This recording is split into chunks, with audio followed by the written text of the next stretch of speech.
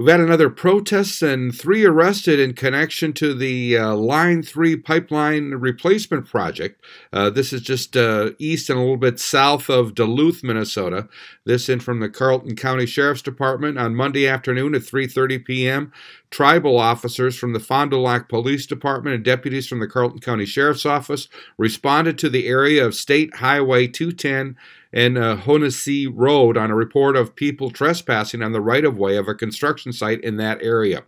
Protesters, numbering less than a dozen, got into the construction area of the pipeline, and one protester, described as a, an adult male, got onto a pipe as it was being lowered into a trench filled with water. Uh, you're looking at a photo here of a similar tactic they used back on uh, January 22nd in Carlton County. Due to the uh, dangers associated in dealing with this situation, area fire departments were called up, including a specialized trench rescue team out of Virginia, Minnesota.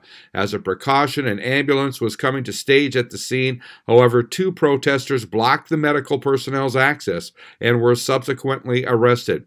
The two adult males, both reporting to be from out of state, were arrested and booked into the Carlton County Jail on misdemeanor charges. At approximately uh, 10:30 p.m., the one remaining suspect, Jeffrey Nicholas Hanning, Haining, 31, was taken into custody and seen by paramedics. He will be booked into the Carlton County Jail on probable cause gross misdemeanor trespass. The Fond du Lac Tribal Police and Carlton County Sheriff's Office would like to thank the fire departments and emergency medical services for their assistance in handling this matter.